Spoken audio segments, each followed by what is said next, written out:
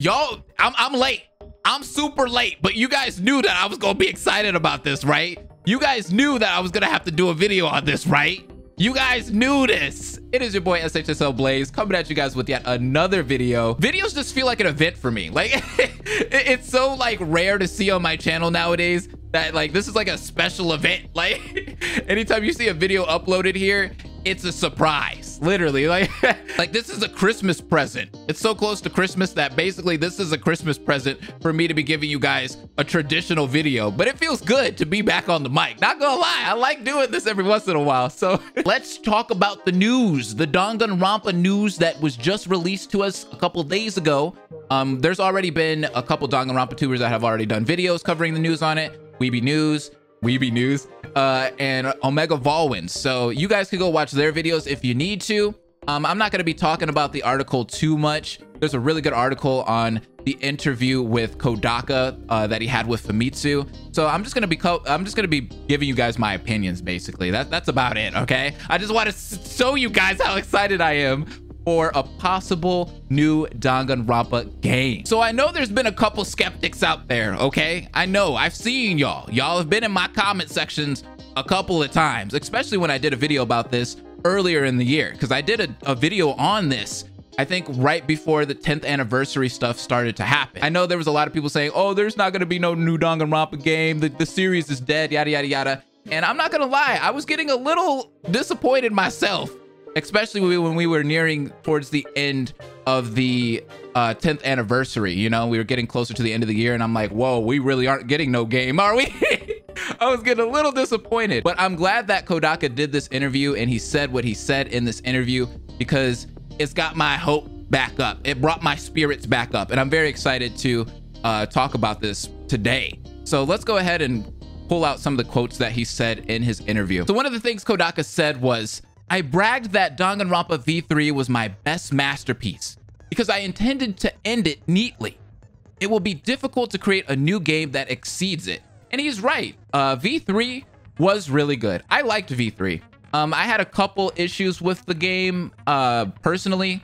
Um, one was the dialogue. I thought the dialogue kind of like, you know, it was just, it was just a little bit too repetitive for me and I was getting a little sick of that. And, you know, I, I had no problems with the ending. Had no problems with the ending at all. I know that it's one of the biggest gripes about Danganronpa V3 is everybody says that the ending is horrible. Why would you end a game like this? Why would you end a trilogy like this?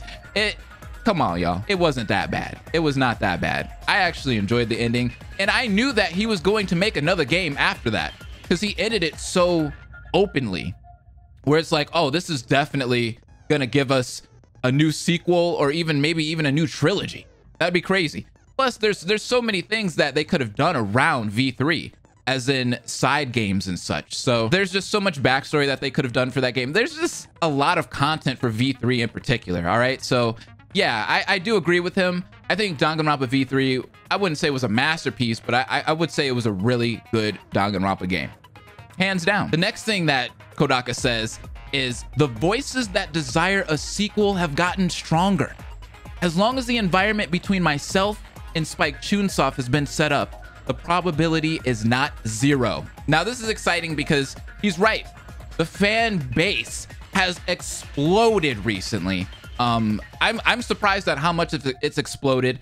And on top of it exploding, we've been getting fan gans. So people have been making fan games of Danganronpa. If you haven't seen the fan games, hit that subscribe button and check out my my channel. I've been playing a ton of fan games here um, that are based off of Danganronpa. If you guys want to check those out, they're really good. It's just teams of people coming up with different visions of Danganronpa, and it is spectacular. It is spectacular. The fan base has been exploding, and on top of that, big YouTubers, big YouTubers. We're talking like Berleezy. We're talking about Jay from the Cub Scouts. We're talking BijuuMike, who was played Danganronpa 2, I think a lot of big content creators have been doing let's plays of Danganronpa recently and have been streaming it on Twitch too. So a lot of people are getting into the series and it sucks because at the time we all thought the series was kind of dead. And it would have sucked if the if the series really was dead because it's exploding. The fan base over here in America is exploding. People want more Danganronpa and it's crazy. It's crazy to think that, you know, at V3 was what three years ago, and here we are three years later, and now the fan base is exploding again. Because I thought once V3 happened, that was the biggest explosion of the fan base we were ever gonna have. Because V3 ex it exploded because we just had Danganronpa 3, the anime before that, and the hype for that anime was crazy. And then we had V3, and then V3 kind of came and gone.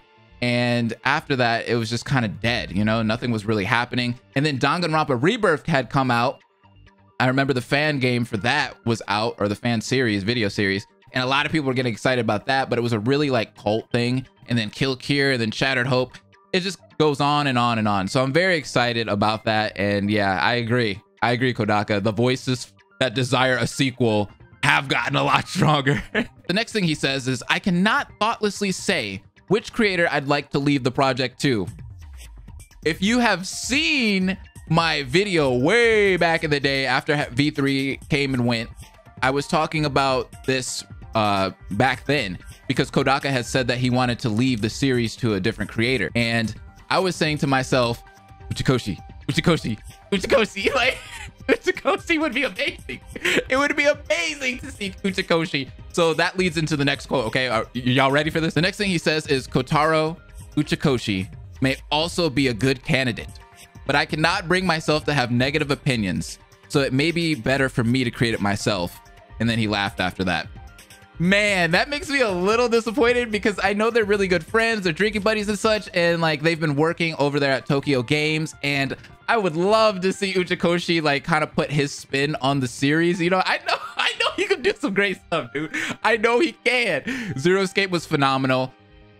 AI the Somnium Files have you guys played it? Have you not played AI the Somnium Files? Go play AI the Somnium Files. I can't tell you how many times I could recommend that to people. Play AI the Somnium Files. It is perfection. Ladies and gentlemen, it was my game of the year last year. Definitely. It was the best game I played last year. Hands down. I loved AI the Somnium Files. So I would have loved to see Uchikoshi spin on it, but I understand where Kodaka's coming from, you know. It would kind of suck if he handed it over to Uchikoshi and then Uchikoshi kind of did his own thing and then the fans kind of were like, hey, this isn't Danganronpa. What the heck is this? What are you giving us? I don't like this. You know, it, it feels really bad as a creator to see your project go to someone else and then next thing you know it, you know, that person puts their spin on it and then, you know, they get negative feedback for it. And it's just like, oof, you know, I handed my, I handed my, my friend, my baby and, you know, now people don't like how, how he handles my baby. It, it, just, it would suck. It would suck. I feel you, Kodaka. I understand. And the last thing he said was, we will soon be able to reveal the thing that I have been working on with Spike Chunsoft. That is very exciting. Very, very, very, very, very, very, very exciting. I want to see it. What is it? UDG 2? no, I'm, I'm playing. I know. I love UDG. I'm sorry. I'm just like a big UDG fanboy. Um, that is my favorite game in the entire trilogy of Danganronpa. Dude, come on. Come on, dog. UDG is... okay, the game sucks. The game sucks, all right? But the story and the character development and everything around it is just beautiful. It's beautiful. If you haven't played Ultra Despair Girls, play Ultra Despair Girls. It is my favorite game. And think of me when you play that game. So I want to see what this big reveal is that he wants to show off uh, apparently uh, with Spike Chunsoft, he's been working on something. So he kind of confirmed that they've been cooking something up. So what are y'all cooking up? You know, after Akudama Drive has been doing so well, a lot of people have been getting really hyped about that anime. Now you're gonna release Danganronpa. You're gonna release a new Danganronpa game on top of that? That's wild. I'm very excited to see what the heck is gonna happen in the future. I want to hear your guys' thoughts on it. UDG2? I keep saying that. So as you guys do know, the Danganronpa 10th anniversary was this year. It came and went. This year's about to end pretty soon. And I just wanted to say thank you. Thank you to all of you guys in the fan base of Danganronpa. Everybody that's in the fan base. You guys have been amazing to me. Um, I haven't had any problems really with the fan base. I haven't had any beefs with anybody. And everybody has been pretty nice to me. And I'm nice too. So hopefully they're nice to me, right? So yeah, it the this fan base has been amazing and it's been an amazing journey to be able to play all of the games for you guys and even do things as in cover the Danganronpa 3 anime reactions and I also covered a lot of news for Danganronpa V3 and you know we had those V3 streams here on the YouTube channel and those did phenomenal. Um it has been a great, great time, you know, doing videos for this series. And hopefully I can still do more videos in the future. You know, I'll stick around as long as the series sticks around, you know? And shouts out to all the fan gans out there. You guys have been, you know, hyping it up. Honestly, you really have. You have been giving people hope. You have been hyping it up. And even though we might be getting a new game pretty soon, I will still be watching Fangans. So if you have a Fangan coming out, please still release that junk. I need it. I need it.